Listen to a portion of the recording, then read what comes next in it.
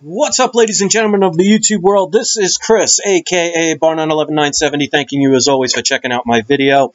And it is time we start doing rational discussion about a topic that we from the media have been pushed into thinking is taboo, and they shun it, and people get very angry about it. And when it comes to learning truth, we cannot speak like five year old people or angry children. We have to discuss things. Now, in order to find truth, there has to be investigation. That's the whole reason for our court systems, for example, is it's not based on emotion. You can't go to court. If you're on trial, the last thing you want is a jury to say, well, I don't believe in that person or I don't like that person, so I don't want to hear any evidence. I've already made up my mind that person's guilty. Is that what you would want in this world?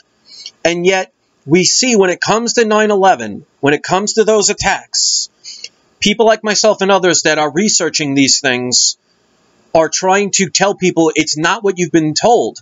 And the response from a person who doesn't believe in it is not to investigate, it's not to listen, it's to automatically put up a defensive stance. That's what you're programmed to think. And then not communicate because and, and I got this the other day from somebody on a post that I put on my Facebook page, and they said, you know, it's true that there are a lot of things to question about September 11th, but we've been basically programmed in this in this country that it's taboo to speak against it and to ask questions. And think about that.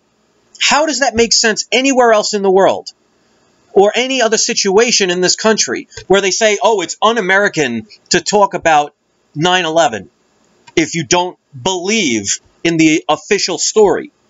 And they say, oh, it's unpatriotic and un- un-American to speak about it or ask questions. Well, that's what, isn't that what America's all about? At least I thought it was. I mean, where else do you see that anywhere else in the society where asking questions is a bad thing or pushed aside or you get ridiculed or attacked for it? I mean, if you're in a trial, do they not ask questions? Do they not try and find as much evidence as they can to draw a truthful conclusion out of the evidence? Or do they base it on emotion? What about school? Are children punished for asking questions? Or is that encouraged because asking questions gets you to find answers? It stimulates the brain. What about you when you go to the doctor?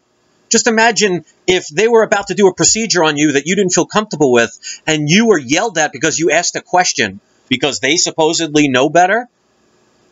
So, if you think of it from a logical standpoint, it's time to open up the, the floodgates and actually talk about this without name calling. So, here's the thing I'm going to say.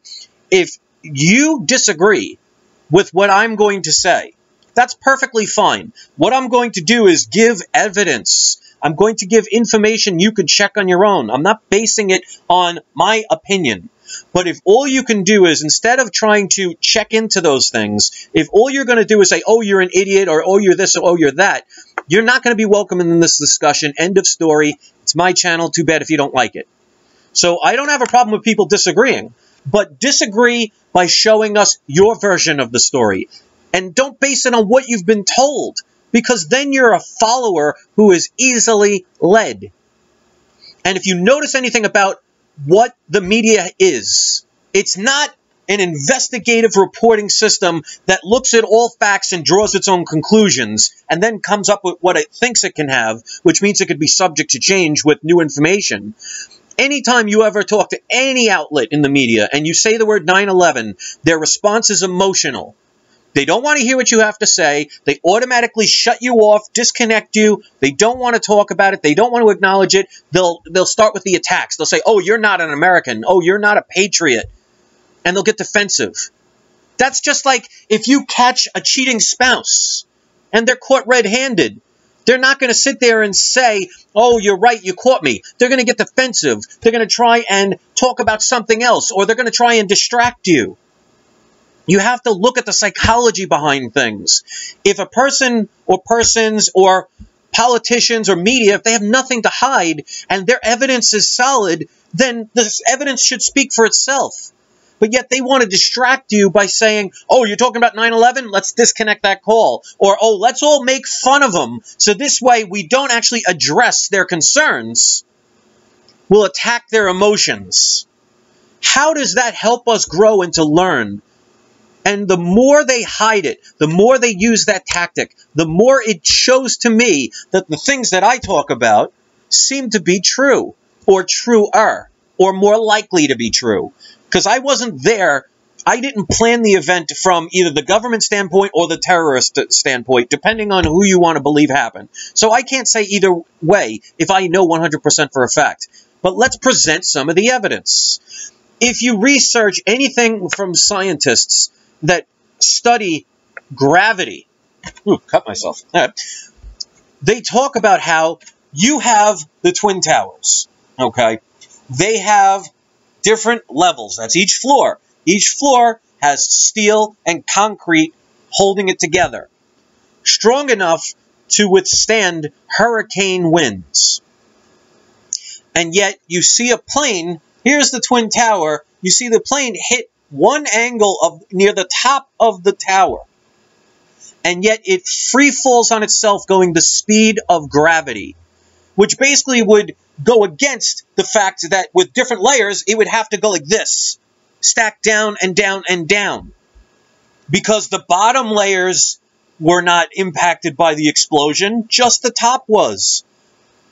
So when the top would collapse, if it was the free fall, first of all, when you cut a tree, you're cutting it from one side. What does the tree do? It falls where the cut is being made. It doesn't collapse in on itself.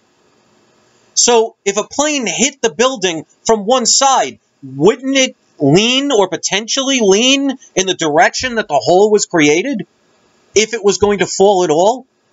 And yet both both buildings, and we're not even going to get into building 7 yet, free falled at the speed of gravity. In other words, it's like if you took a bowling ball and dropped it off the Twin Tower, it was falling at the same speed the, the buildings did.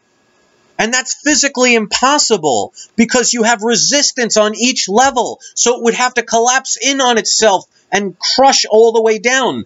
But yet you see, like a demolition explosion, it collapses in on itself. Let's not even talk about the fact that they've already said that fuel does not melt steel. And I'll give you a prime example. How many of you know that in the 1940s, a military plane, I know it wasn't a B 52, I don't have the exact um, plane, but it was a military large size plane that crashed into the Empire State Building, causing a huge gap and a hole in the Empire State Building? Burning, set on fire. There are pictures that you could see this on. They've talked, I actually have a video in the beginning of this channel the first couple weeks I started this channel, I have a video about it. And yet the building still stood. So let's just get into that part right there, just the physics behind it. Plane hits one side. It doesn't lean towards that side where the hole is, and it collapses free fall, even though there are stacks of concrete and steel underneath it, and it fell at the speed of gravity, which would suggest there was either nothing underneath which means there was no reinforcement, it was just hollow, or they put charges all the way down, so it was a planned explosion. So instead of leaning and having the city topple like a bunch of dominoes, creating more damage, it free fell. And it did it with the second building, and it also did it with Building 7, which is the one people just don't want to talk about. Like, it, for some reason, it's not a factor. No plane hit Building 7. And again, the building did not topple over because people are saying, oh, there were explosions. Well, where would the explosions come from if it wasn't from the plane? Because the plane was all the way way above Building 7. And a few pieces that fell would not make a building free fall in on itself unless there were explosives. You have to think about this logically. And if there were explosions in that building, then that means their official story of planes, two planes took down three buildings, took me a second to have the right fingers, is just physically impossible.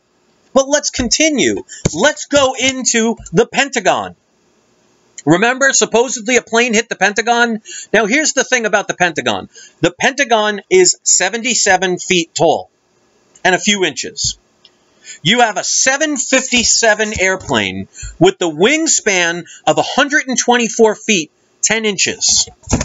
So just imagine this is that building, and this is the plane.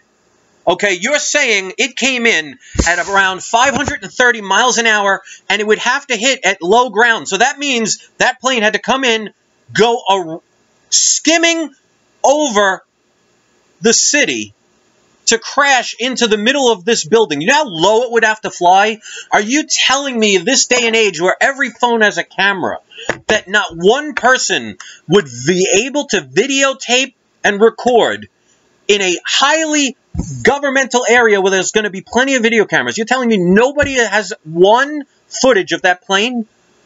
You have to think about it. It didn't drop from the sky.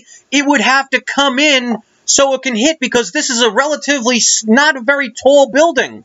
So to be able to hit it coming in at that speed, it would have to be coming in low for a long distance because planes travel very fast. And if you want to hit a target, which is not going to be that easy in a very crowded rural area, it would have to come in low. Are you telling me nobody saw that?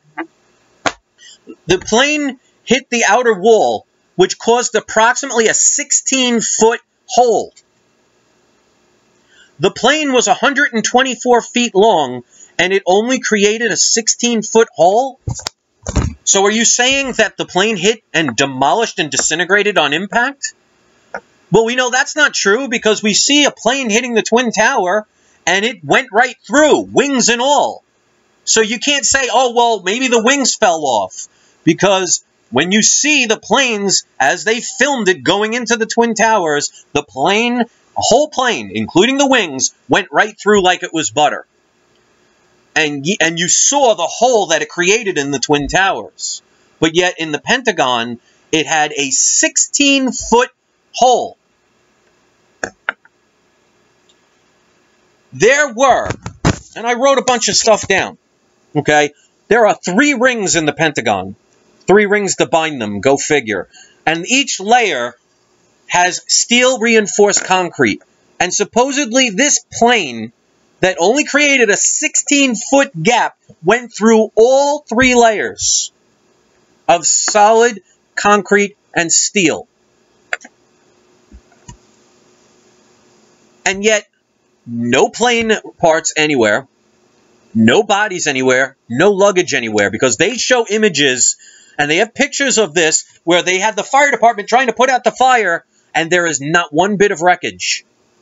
So did it just disintegrate? Because an explosion that bad that would disintegrate a plane would cause a lot more of a hole than a 16 foot gap and it would create a lot more damage. But no one wants to stop and think about this.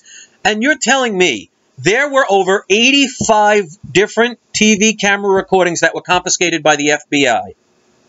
And not one has been released even a decade later. So there is not one bit of evidence that shows a plane hitting the building. So let's think of it logically. You can't say, well, they don't want to show the footage because it might be graphic.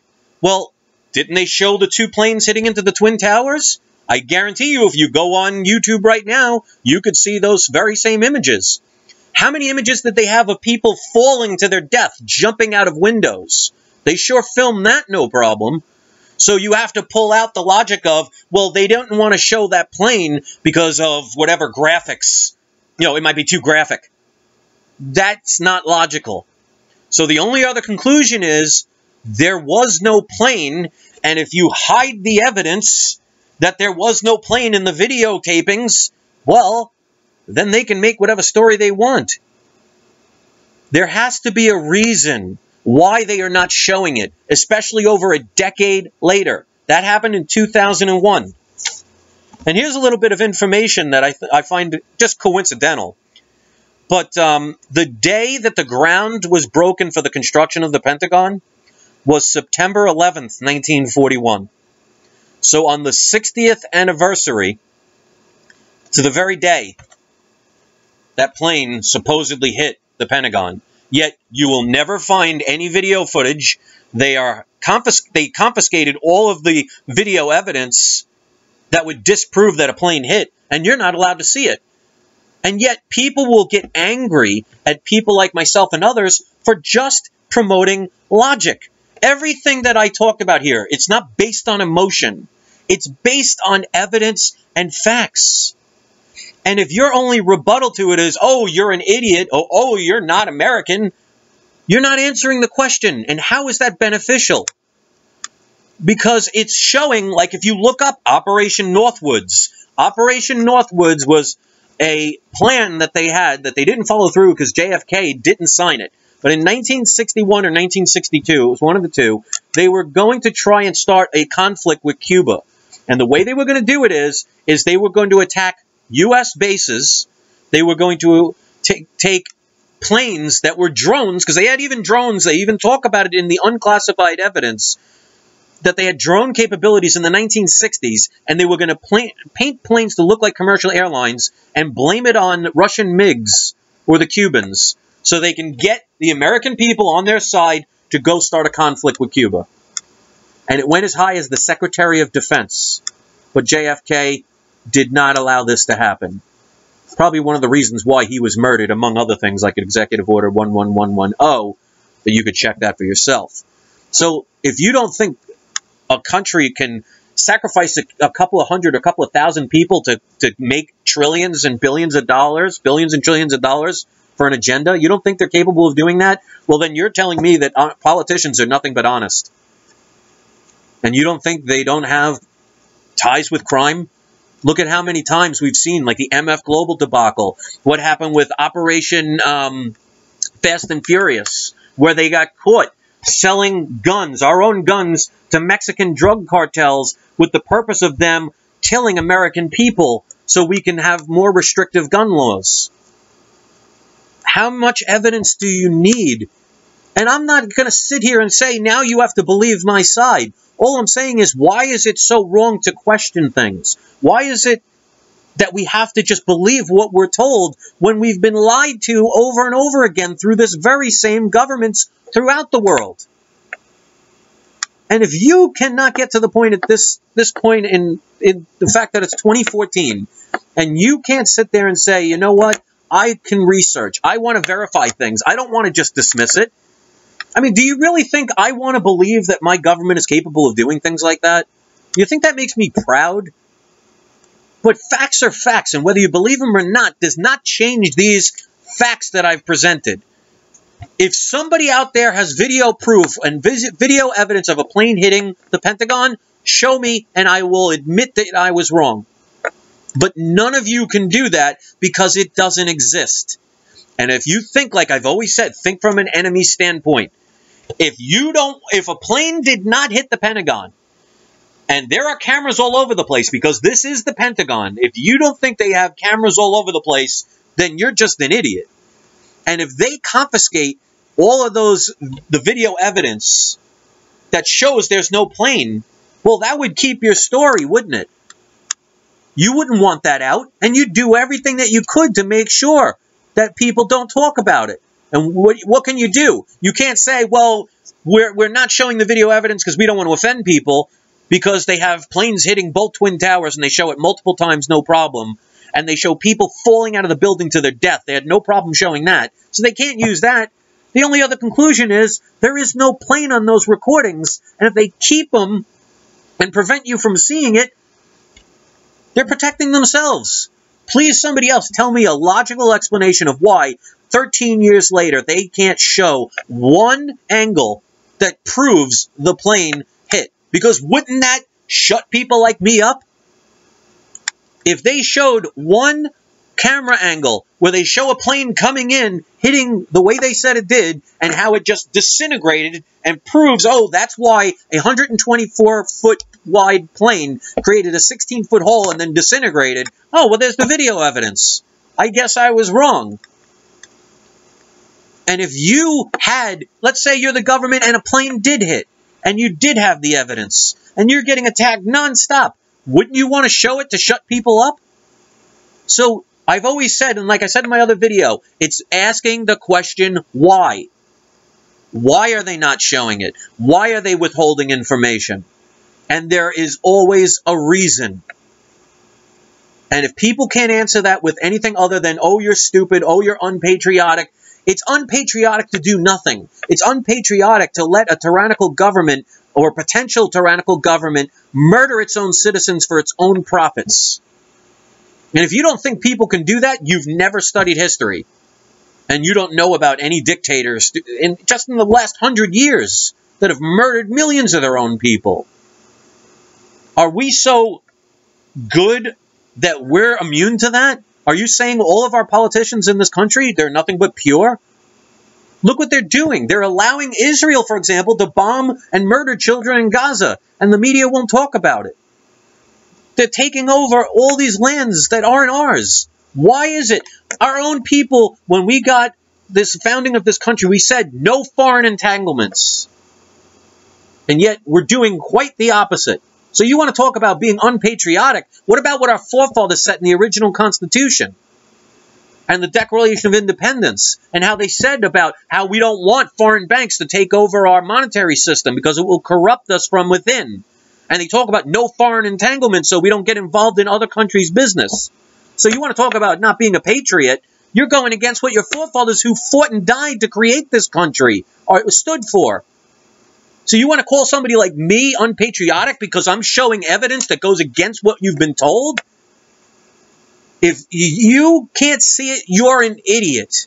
And I'm not sitting here saying I know what's happening. But until somebody can show me why a 124 foot plane disappeared, there is no physical evidence that shows it even existed. How the plane made a 16 foot hole and how Twin towers can come down at the speed of gravity, even though there are levels of concrete and steel all the way down, and how they didn't topple over, and explain why the Empire State Building didn't fall over or topple down when a plane filled with fuel because it just left the military base hit straight into it, dead center, causing a humongous gap.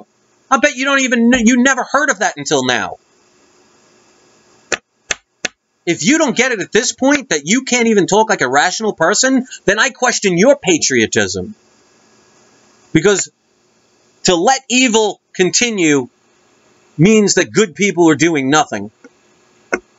And I will be damned if I allow that. So if all you have is hate towards me, and all you could do is make fun of it, or you could say, oh, I can't believe you're bringing this up, then you are a traitor to your country. You are not patriotic. You are scared. And instead of dealing with the facts and the evidence, you'll just do what the media does and what the government does. Do an emotional distraction. But you know what? We're waking up to that. We're smarter than that. And if you don't like it, well, guess what? There's a button that says subscribe. If you're not, if you've already hit that button and you don't like what I say, hit it again so you're unsubscribed. I don't want you on my channel. I don't want mindless drones who obey everything they're programmed to believe on my channel. People who hate, no, despite the fact that I show evidence and I question things. Because you didn't hear me once say, this is exactly what happened. I'm just presenting evidence. Prove me wrong. Peace.